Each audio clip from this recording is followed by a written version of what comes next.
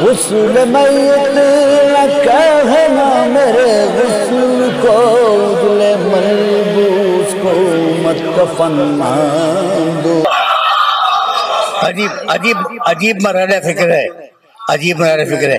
यहाँ तक आ गए। यहाँ तक आ गए मेरे साथ। अब मैं मकाम मोहम्मद की तरफ़ जा रहा हूँ। अब यहाँ से जा रहा हूँ।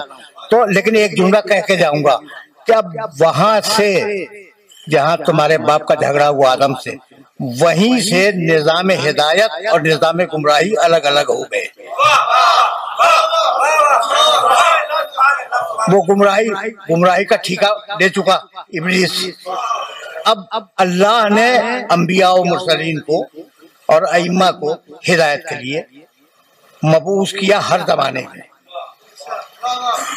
सिर्फ़ तुम्हारे इमाम इमाम नहीं है मूसा भी इमाम थे ये जेन में रहे। और बड़ी इसराइल में बहुत इमाम हुए हैं।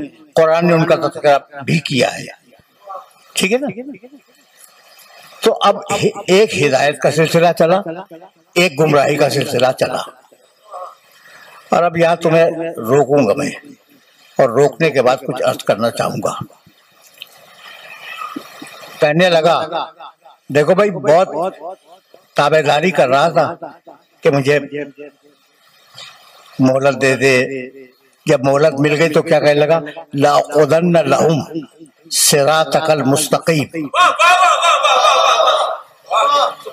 लाउदन लहुम सिरातकल मुस्तकीम। मैं परवरदिगार, तेरी सिरात मुस्तकीम पे बैठ जाऊँगा। कहाँ बैठेगा? सिरात मुस्तकीम पर। वला उगवेन और उन्हें गुमराह करूँगा। अजमाई, सबके सबको। इल्ला इबादत का बिनमुल मुखलसीन। तवज्जो रखना। इसलिए कि ये वो मंदिर है, जहाँ मैं तुम्हें रोकना चाह रहा हूँ। कि मैं बैठ जाऊँगा तेरी सरात मुस्तकीम पर। सरात मुस्तकीम पर ये पर जो है ना इस पर को अपने जहन में रखना। सरात मुस्तकीम पर बैठ जाऊँगा और सारी नस्ल आदम को गुमराह करूँगा बहकाऊँगा। और तू उन्हें अपना बेशतर बेशतर शाकिर नहीं पाएगा शुक्र करने वाले बंदे नहीं पाएगा। इतना गुमराह करूँगा। उन, उन लोगों को तवज्जो रखना। इसलिए वो बारीक मरहले फ़िक्र है जहाँ मैं तुमको ले आया। सिरात मुस्तकीम पर बैठ के गुमराह करूँगा। यही है ना? इब्लीस का दावा यही है। सिरात मुस्तकीम पर बैठ के गुमराह करूँगा। भाई, बहुत तवज्जो बहुत तवज्जो। अच्छा भाई, इब्लीस सिरात मुस्तकीम पर बैठ के गुमराह करेगा। ठीक है ना?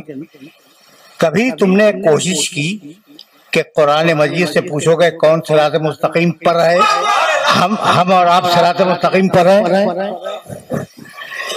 भाई एक आयत सुनो कुरान कुरान की। बल्कि दो आयतें सुनो। एक एक सारे अंबिया के लिए एक हज़रत इब्राहिम के लिए। सारे अंबिया के लिए कहने लगा फस्तबैना हूँ वहदैना हूँ एला सरात मुस्तकीम।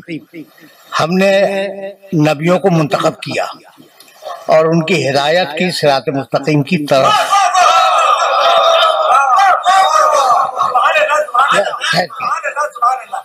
क्या किया मैंने? मैंने हिदायत की। किसकी? नबियों की। नबियों की हिदायत हुई, सरात मुस्तकीम की तरफ़। और अब इब्राहिम सलाम की आयत सुनते जाओ। इब्राहिम सलाम का स्टेटस तो तुम्हें मालूम है कि रसूल अल्लाह को छोड़कर पैगंबर करम को हटा के बाकी जितने अम्बिया और गुजरे हैं दुनिया में, उन सबसे अफजल है हज़रत इब्राहिम। कितनी बड़ी शख्सियत है। कहने लगा इन इब्राहिम काना उम्मतन, कानतन हनीफन, वलम यकुम मिनल मुशकिन लिअनुमही इज्तिबा हो व हदा हो इला सरात मुस्तकीम।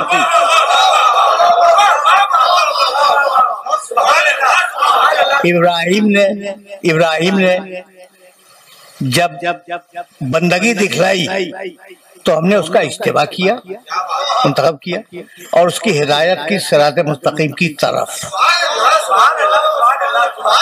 कोई नहीं है सरात मुस्तकीम पर, कोई नहीं है। इब्राहिम सलाम तक की तो फिर इसमें गिना दी। ठीक ठीक है ना? अच्छा तो अब है कौन सिरात मुस्तकीम पर? अब आए पढ़ूं? बिस्मिल्लाहिर्रहमानिर्रहीम। यासीन वल कुरानिल हकीम। इन्नका लमिनल लमिनल मुरसलीन अला सिरातिन मुस्तकीम। पैगंबर कुरान की कसम के सारे रसूलों में फकत तुम सरात मुस्तकीम पर हो। सा, सारे पैगंबरों में फकत तुम हो अकेले सिरात मुस्तकीम पर। तो अब कौन रह गया सिरात मुस्तकीम पर? अकेले रसूल अल्लाह। मैं तलाश कर रहा था कुरान पढ़ते हुए तो मुझे एक और मिला।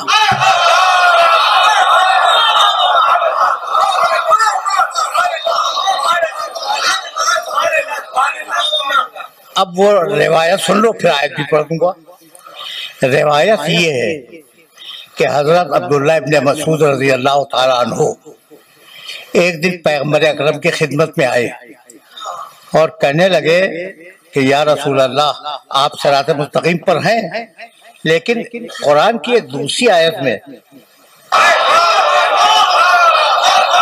समझ लिया तुमने कि कोई और है और वो एक ही है। एक ही है। और वो रसूल अल्लाह के अलावा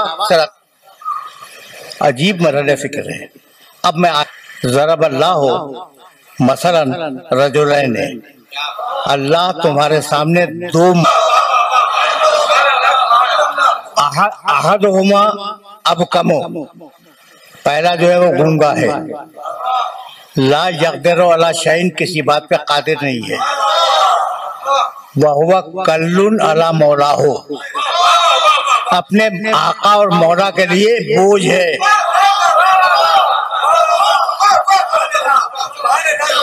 आए नमा युवजे हो, ला जाते बखैर उसका मौला उसे कहीं भी भेजे, वो खैर लेके वापस नहीं आता।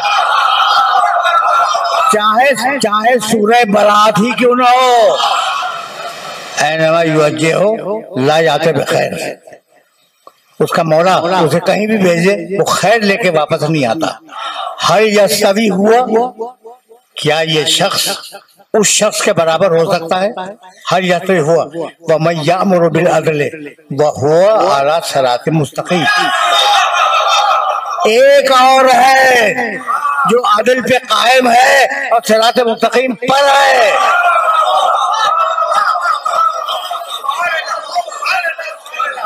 तो अब दो है दो है सरात मुस्तकीम पर। एक रसूल अल्लाह और एक को तलाश करना है कि वो है कौन? ठीक है ना? तो हज़रत अब्दुल्ला इब्ने मसूद ने रसूल अल्लाह से पूछा कि, या रसूल अल्लाह आप तो हैं सरात मुस्तकीम पर। समझ में आ गया। सूरह यासीन में लिखा है, ये दूसरा कौन है जो सरात मुस्तकीम पर है? इतने में अली के घर का दरवाज़ा खुला और अली बाहर निकले। अब देखिए, कोई साहब अगर आ रहे हो, एक साहब बाहर जा रहे हैं, या बाहर से अंदर आ रहे हैं, मुझे नज़र आए, मैंने देखा। ठीक है ना? और फिर आपसे बातें करने लगेगा ये तरीका है कि अगर कोई आए या जाए, ये सामने आ जाए तो तवज्जो होती है कि कौन आया, कौन गया। है ना? तो जैसे ही अली निकले, इब्ने मसूद ने देखा अली की तरफ़। देख लिया ना? और फिर मुड़े अब्दुल्ला इब्ने मसूद, रसूल की तरफ़, कि या रसूल अल्लाह वो दूसरा कौन है जो सिरात मुस्तकीम पर आए? मुस्कुरा के फरमाने लगे, देख भी रहे हो और सुन भी रहे हो। अली से मुलाकात को किसी यार जो घड़िया